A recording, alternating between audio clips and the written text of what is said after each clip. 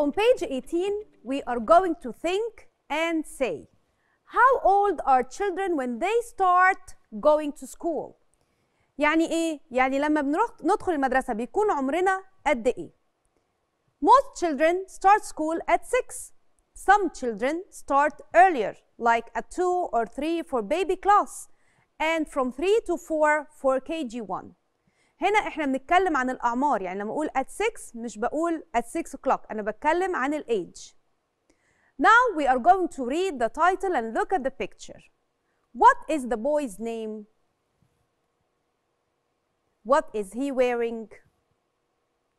The boy's name is Yunus and he is wearing a shirt, pants, shoes. What color is his shirt?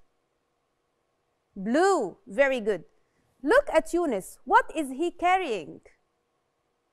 He is carrying a backpack. الشنطة بتاعة المدرسة بنقول عليها school bag أو بنقول عليها backpack. Uh, let's read together the text.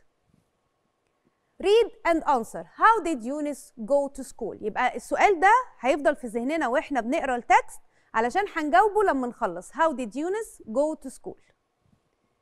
My first day of school by Yunus. I remember my first day of school. I was six years old and I lived in Aswan. I was very nervous. I liked staying at home with my family. I wanted to play with my toys. I didn't want to go to school. شوف الحلقة كاملة من خلال تطبيق مدرستنا بلس مدرستنا مستقبل يبدأ الآن